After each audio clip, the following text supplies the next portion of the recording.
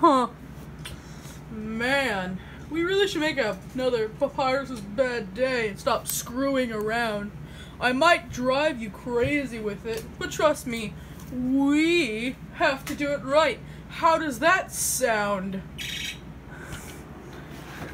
I mean, seriously, there's nothing wrong. We can do it all day. These puns just might suck. But trust me, it sounds.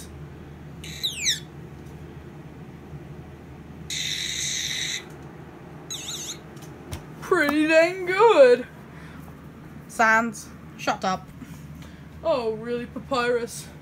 Here, let me, let me lend you a hand. This is annoying! Ow.